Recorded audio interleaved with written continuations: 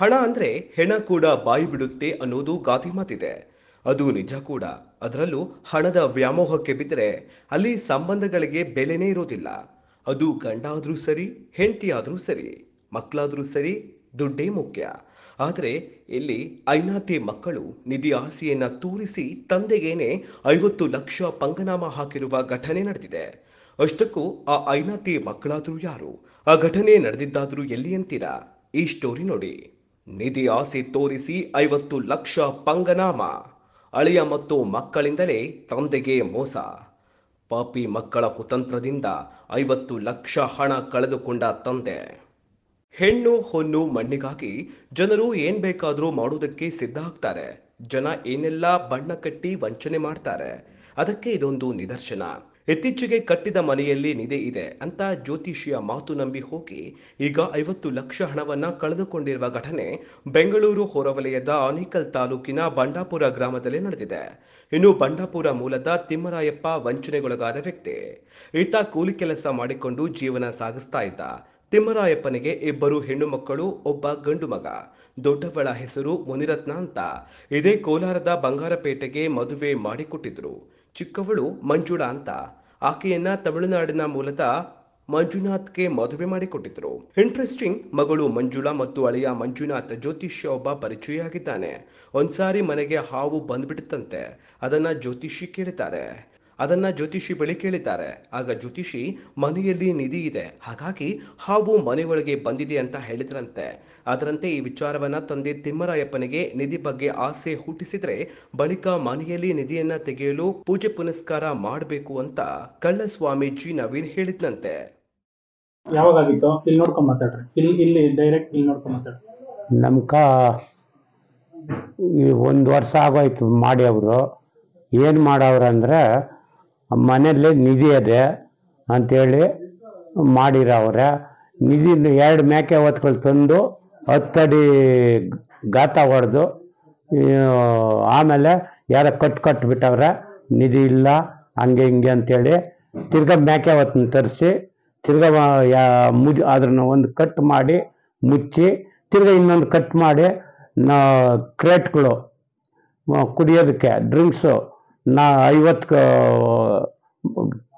ಬಾಟ್ಲುಗಳು ತಂದು ಅವ್ರವ್ರೆ ಕುಡ್ಕೊಂಡು ಮಜಾ ಮಾಡಿಕೊಂಡು ಅವರು ಹೊಂಟೋಗ್ಬಿಟ್ರು. ನಿಮ್ಗೆ ಹೆಂಗ್ ಪರಿಚಯ ಆಗ್ತಾರ ಅವರು? ಸ್ವಾಮೀಜಿ ಹೆಂಗ್ ಪರಿಚಯ ಆಗಿದ್ರು? ಅವರು ಇಲ್ಲ ಅಳಿಯ ಪರಿಚಯ. ನನಗೆ ಯಾವ ಮ್ಯಾಟ್ರು ಗೊತ್ತಿಲ್ಲ.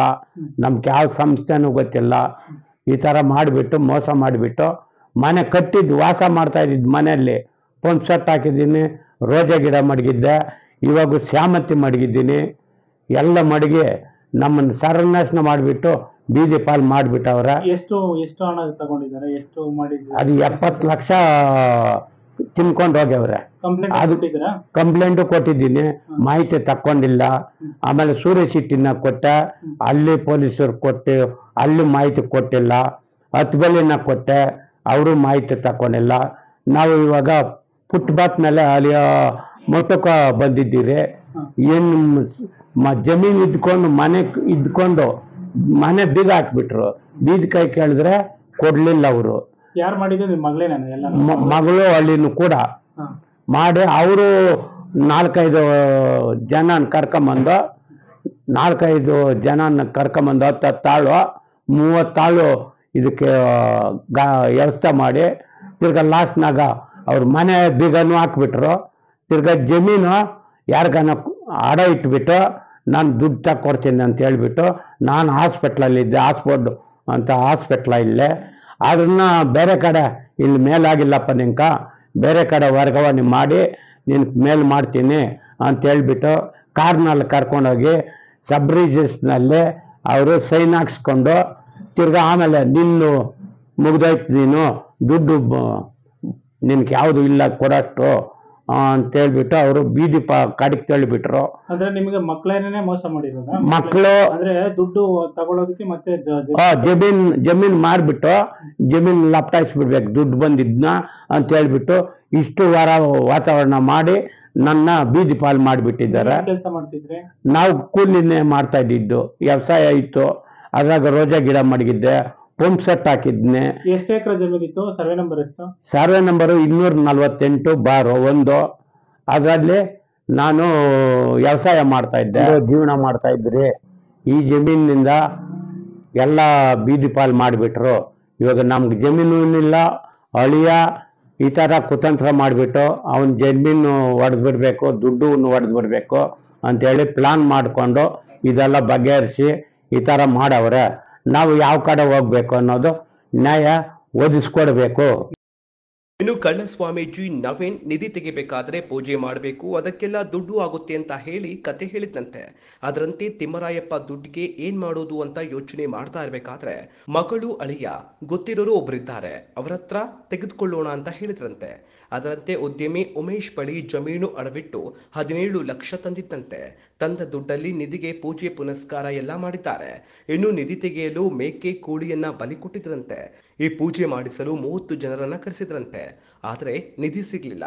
ಅಷ್ಟೊತ್ತಿಗೆ ಅಳಿಯ ಮತ್ತು ಮಗಳು ಮಂಜುಳಾ ಉದ್ಯಮಿ ಉಮೇಶ್ ಹತ್ರ ತಂದೆಗೆ ಗೊತ್ತಿಲ್ಲದೆ ಮೂವತ್ಮೂರು ಲಕ್ಷ ಹಣ ಪಡೆದು ಸುಮ್ಮನಾಗ್ಬಿಟ್ಟಿದ್ರಂತೆ ಅಕ್ಕ ಮುನಿರತ್ನಗೆ ಈ ವಿಚಾರ ಗೊತ್ತಾಕಿ ಸುಮ್ಮನಾಗ್ಬಿಟ್ಟಿದ್ದಾಳೆ ಪ್ರಶಾಂತ್ ಕುಮಾರ್ ನಮ್ಮ ಹೆಸರು. ತುಂಬ ಅವ್ರ ಮಗ ತಿಮ್ರಾಯಪ್ಪ ಅವ್ರ ಮಗ. ಪ್ರಶಾಂತ್ ಕುಮಾರ್ ನನ್ನ ಹೆಸರು. ತಿಮ್ರಾಯಪ್ಪ ಮಗ ಬಂಡಾಪುರ. ಈ ಥರ ನಮ್ಮ ಅಕ್ಕಂದಿರು ಅಳಿಯಂದಿರು ಇಬ್ಬರು ಸೇರಿಕೊಂಡು ನಮಗೆ ಮೋಸ ಮಾಡಿದ್ದಾರೆ. ಜಮೀನು ಈ ಥರ ನಿಧಿ ಇದೆ ಮನೇಲಿ ಅಂದ್ಕೊಂಡು ಹೇಳಿ ಈ ಥರ ಐವತ್ತು ಲಕ್ಷ ನಮ್ಮ ಹತ್ರ ಈಸ್ಕೊಂಡು ಅದಕ್ಕಾಗುತ್ತೆ ಇದಕ್ಕಾಗುತ್ತೆ ನೀವು ಹಂಗಿರ್ತೀರ ಚೆನ್ನಾಗಿರ್ತೀರ ಅಂತೇಳಿ ನಮ್ಗೆ ಅನ್ಯಾಯ ಮಾಡಿದ್ದಾರೆ. ನಮಗೆ ಓದು ಬರುವ ಏನೂ ಗೊತ್ತಿಲ್ಲ. ವ್ಯವಸಾಯ ಮಾಡ್ಕೊಂಡು ಜೀವನ ಮಾಡ್ಕೊಂಡು ಇದ್ದೀವಿ ಅದಕ್ಕೋಸ್ಕರ ನಮ್ಗೆ ನ್ಯಾಯವನ್ನು ಒದಗಿಸ್ಕೊಡ್ಬೇಕು ನಮಗೆ. ಅಂದ್ರೆ ಅವ್ರು ಹೆಂಗ್ ಪರಿಚಯ ಆಗ್ತಾರೆ ನಿಮಗೆ? ಆ ನಿಧಿ ನಿಮ್ಮ ಅಕ್ಕಯಿಂದ ಪರಿಚಯ ನಮ್ಮ ಅಕ್ಕ ಅವರು ನಿಧಿ ತಗೊಬರೋದಕ್ಕೆ ಮಂಜುಳಾ ಮು- ಮುನಿರತ್ನ ಮುನಿರಾಜ್ ನವೀನ್. ಇವ್ರು ನಾಲ್ಕು ಜನ ಸೇರಿ ಅಂದ್ರೆ ನಾಲ್- ಇದು ಅಂದರೆ ನವೀನ್ ಅನ್ನೋರು ಹೆಸರು ಅವನು ಪೂಜಾರಿ. ಅವರು ಅಂದರೆ ನಮ್ಮ ಮುನು- ನಮ್ಮ ಮಾವರು ಮು- ಮಂಜುನಾಥ್ ಅನ್ನೋರು ಕರ್ಕೊಬಂದು ಅವರೇ ಎಲ್ಲ ಇದು ಮಾಡಿಕೊಂಡು ಈ ಥರ ಈ- ಚೆನ್ನಾಗಿರ್ತೀರಿ ನೀವು ಅಂಥೇಳಿ ನಮಗೆ ಎಲ್ಲ ನಮ್ಮ ತಂದೆನೋ ನಮ್ಮ ತಾಯಿನೋ ನಾವು ಆ, ಬೇರೆ ಮನೆಯಲ್ಲಿ ಬಂದು ಬಾಡಿಗೆ ಜೀವನ ಮಾಡ್ತಾಯಿದ್ವಿ ಇವಾಗ ನಾವು ಯಾವುದೋ ತೋಟ ಗೀಟ ಮಾಡಿಕೊಂಡು ಬೆಳಗಿನಿಂದ ಸಂಜೆ ಗಂಟ ಯಾವುದೋ ಒಂದು ಮಾಡ್ತಾಯಿದ್ದೀವಿ ನಮ್ಮ ಈಗ ಅದು ನಿಧಿ ಮನೆಯಲ್ಲಿ ಎಷ್ಟೊತ್ತಿಗೆ ಮಾಡಿದ್ರು ಎಷ್ಟೊತ್ತಲ್ಲಿ ಬಂದಿದ್ರು ಯಾರ್ಯಾರು ಬಂದಿದ್ರು? ಅವರು ಬೆಳಗ್ಗೆನೇ ಬಂದಿದ್ದು ಅವ್ರ ಕಡೆಯವರು ಯಾರು ಬಂದಿದ್ರು ಅವ್ರ ಹೆಸರು ನಮ್ಗೆ ಗೊತ್ತಿಲ್ಲ. ನನಗೆ ಗೊತ್ತಿರೋದು ಅಂದರೆ ನವೀನ್ ಅಂದ್ಬಿಟ್ಟು ಪೂಜಾರಿ. ಅವ್ನು ಮಾತ್ರ ನಮಗೆ ಹೆಸರು ಗೊತ್ತು. ಏನಾದ್ರು ಅದಕ್ಕೆ ಏನಾದ್ರು ಕುರಿ ಕಟ್ ಮಾಡೋದು ಮನುಷ್ಯನ ಆ, ಆ- ಥರದ್ದೇನಿಲ್ಲ ಅಂದ್ರೆ ಮನೇಲಿ ಏನಾದ್ರು ಗುಂಡಿ ಗಿಂಡಿ ಎಲ್ಲ ಗುಂಡಿಯನ್ನು ಅಗ್ದಿದ್ದಾರೆ. ಅಗ್ದು ತಿರ್ಗಾ ನಮ್ಮ ಕೈಯಲ್ಲೇ ನಮ್ಮ ಈ ಥರ ಈ ಸಿಗುತ್ತೆ. ನೀವು ಆ ಪೂಜೆ ಮಾಡಬೇಕು ಈ ಪೂಜೆ ಮಾಡ್ಬೇಕು ಅಂತೇಳಿ ತಿರ್ಗಾ ಅದಕ್ಕೂ ಇದಕ್ಕೂ ಎಲ್ಲ ತಗೊಬಂದು ಸಾಲ ಸೋಲ ಮಾಡಿ ನಾವು ತಗೊಬಂದು ಕೊಟ್ವಿ. ಇತ್ತೀಚೆಗೆ ಈ ನಡುವೆ ನಡೆದಿರೋದು. ಬಲಿ ಮಾಡಿದ್ರಾ ಬಲಿ ಏನಾದ್ರು ಮಾಡಿದ್ರ ಅಲ್ಲಿ? ಆ, ಬಲಿ ಏನಿಲ್ಲ ಸರ್. ಅಂದ್ರೆ ಮೇಕೆ ಇವಾಗ ನಿಮ್ ತಂದೆಯವರು ಹಾ, ಇಲ್ಲ, ಇಲ್ಲ. ಹೊಡೆದು ಇಲ್ಲ ಇಲ್ಲ ಇಲ್ಲ. ಡೆಡ್ ಎಲ್ಲ ಮಾಡಿದ್ರು ಅಂತ ಹಾಂ ಹಾಂ ಇಲ್ಲ ಇಲ್ಲ. ಆ, ಕೋಳಿ ಒಂದು ಕೊಯ್ದಿದ್ವು ಸರ್. ಹ್ಮ್. ಕೋಳಿ ಒಂದು ಕೊಯ್ದಿದ್ವು. ಹ್ಮ್. ಆ, ಆಮೇಲೆ ಇದ್ಕೊಂಡು ಎಲ್ಲ ಇದು ಮಾಡಿಕೊಂಡು ಈ ಥರ ಇರ್ತೀರಿ? ಆಮೇಲೆ ನಾವು ಇದ್ಕೊಂಡು ಮನೆ ಸ್ವಲ್ಪ ಮಂಜುಳ ಮ- ನಮ್ಮ ಮುನ್ ಆ, ಮಾವ ಆದರು ಇಬ್ಬರು ತ ಆಮೇಲೆ ಮೇಕೆ ಬೇಕು ಅಂದ್ಬಿಟ್ಟು ಮೇಕೆ ಒಂದು ತಗೊಬಂದರು ಆಮೇಲೆ ಅಲ್ಲಿ ಕ ಕೊಯ್ದು ಒಳಗಡೆ ಹಾಕಿ ತಿರ್ಗಿ ಎಲ್ಲ ಇದು ಮಾಡಿದ್ರು ಅವರು. ತಿರ್ಗಿ ಆಮೇಲೆ ನಾವು ಇದ್ಕೊಂಡು ಅಲ್ಲೇ ಸಹ ಒಂದು ಎರಡು ದಿನ ಇರಬೇಕು ಅಂತ ಹೇಳಿದ್ರು. ಸರಿ ಸುಮ್ಮನೆ ಯಾಕೆ ನಮಗೆ ಭಯ ಬಿಟ್ಕೊಡ್ತು ನಮ್ಮ ತಂದೆಯವ್ರಿಗೆ ಪ್ರಜ್ಞೆ ಇರಲಿಲ್ಲ. ನಮಗೂ ಅದ್ರ ಬಗ್ಗೆ ಏನು ಅನ್ನೋದು ಗೊತ್ತಿಲ್ಲ ನಮಗೆ. ಅಂದ್ರೆ ಎಲ್ಲ ಪ್ಲಾನ್ ಮಾಡಿನೇ ಎಲ್ಲ ಮಾಡಿದ್ರು? ಎಲ್ಲ ಪ್ಲಾ ಅವರು ಮಾಡಿದ್ರು ಬಲಿ ಮಾಡೋದಕ್ಕೆ?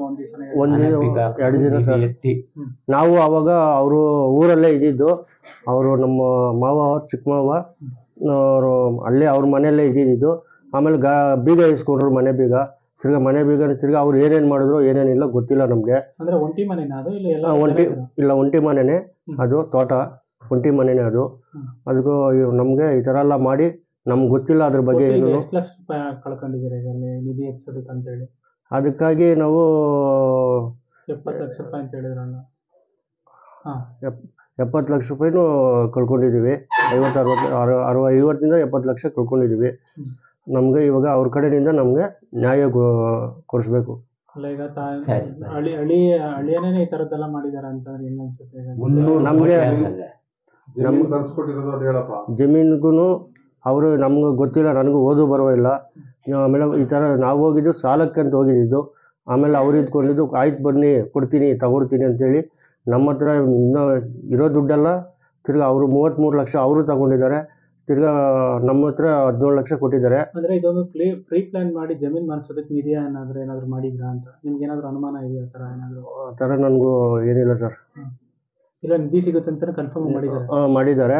ಮಾಡಿದ್ದಾರೆ ಬಂದು ಅವರೇ ನೋಡಿ ಅವರೇ ಇದು ಮಾಡಿ ನೀನು ಇದು ಮಾಡಬೇಕಪ್ಪ ಆ ಥರ ಮಾಡಬೇಕು ಅಂಥೇಳಿ ಬೆಳಗ್ಗೆ ನೈಟು ಅವರು ಇದು ಮಾಡಿದ್ರು ಮನೆ ಹತ್ರ ಯಾರನ್ನ ಅಕ್ಕಪಕ್ಕದವ್ರು ಬಂದರೆ ಏನೋ ಪೂಜೆ ಮಾಡ್ತಾಯಿದ್ದೀರಿ ಅಂಥೇಳಿ ಅವ್ರನ್ನ ಕಳಿಸೋರು. ತಿರ್ಗಾ ನಮ್ಮ ಸಾಲ ಕೊಡಬೇಕಾದ್ರೂ ಊರಲ್ಲಿ ಹೋಗಿ ನನ್ನ ಕರೀದಿರನೇ, ಅವರೇ ಹೋಗಿ ನಾನು ಎರಡು ಸೈಟ್ ಮಾರಿದ್ದೀನಿ. ನನ್ನ ನಮ್ಮದು ನಮ್ಮದೇ ಸೈಟ್ ಎರಡು ಮಾರಿ ನಿಮ್ಮದು ಸಾಲ ಕೊಡ್ತಾ ಇದ್ದೀವಿ. ಅಂಥೇಳಿ ಅವ್ರಿಗೆ ಸಾಲ ಕೊಟ್ಟು ತೀರಿಸಿದ್ರು. ಇನ್ನು ನಿಧಿ ತೆಗೆಯುವುದಕ್ಕೆ ಎಂಟು ಅಡಿ ಗುಂಡಿಯನ್ನ ತೆಗೆದಿದ್ರಂತೆ. ರಾತ್ರಿ ಎಲ್ಲಾ ಪೂಜೆ ಮಾಡಿದ್ದು ಈ ವಿಚಾರವನ್ನ ಯಾರಿಗೂ ಹೇಳದಂತೆ ಪೂಜಾರಿ ಹೇಳಿದಂತೆ ಪ್ರಾಥಮಿಕ ವರದಿ ಪ್ರಕಾರ ಮೇಲ್ನೋಟಕ್ಕೆ ತಿಮ್ಮರಾಯಪ್ಪನಿಗೆ ಸರ್ವೆ ನಂಬರ್ ಇನ್ನೂರ ನಲವತ್ತೆಂಟು ಬಾರ್ ಒಂದರಲ್ಲಿ ಮೂವತ್ತೆಂಟು ಗುಂಟೆ ಜಾಗವಿತ್ತು. ಆ ಜಮೀನನ್ನ ಮತ್ತು ಹಣವನ್ನ ಲಪಟಾಯಿಸಲು ಹೆಣ್ಮಕ್ಳು ಈ ರೀತಿ ಪ್ಲಾನ್ ಮಾಡಿದ್ರು ಎನ್ನುವ ಅನುಮಾನ ವ್ಯಕ್ತವಾಗಿದೆ. ಇನ್ನು ಕೂಲಿ ನಾಲಿ ಮಾಡಿಕೊಂಡು ಜೀವನ ಸಾಗಿಸ್ತಾ ಇದ್ದ ತಿಮ್ಮರಾಯಪ್ಪನಿಗೆ ನಿಧಿ ಆಸೆ ತೋರಿಸಿ ಜಮೀನನ್ನ ಮಾರಾಟ ಮಾಡಿ ಈಗ ಬಾಡಿಗೆ ಮನೆಯಲ್ಲಿ ವಾಸ ಮಾಡ್ತಾ ಇರುವಂತಹ ಪರಿಸ್ಥಿತಿ ಇದೆ. ಸ್ವಂತ ತಂದೆಗೆ ಮಕ್ಕಳಿಂದಲೇ ವಂಚನೆ ಮಾಡಿರುವುದು ಮಾತ್ರ ವಿಪರ್ಯಾಸವೇ ಸರಿ. ಇನ್ನು ವಂಚನೆಗೊಳಗಾದ ವ್ಯಕ್ತಿ ತಿಮ್ಮರಾಯಪ್ಪ ಅತ್ತಿಬೆಲೆ ಮತ್ತು ಸೂರ್ಯನಗರ ಪೊಲೀಸ್ ಠಾಣೆಯಲ್ಲಿ ದೂರು ನೀಡಲು ಹೋದರೆ ದೂರನ ಸ್ವೀಕಾರ ಮಾಡ್ತಾ ಇಲ್ಲ ಅಂತ ತಿಮ್ಮರಾಯಪ್ಪ ಆರೋಪ ಮಾಡ್ತಾ ಇದ್ದಾರೆ. ವರದಿ Anand Kumar K nineteen nine Kannada news channel Anekal.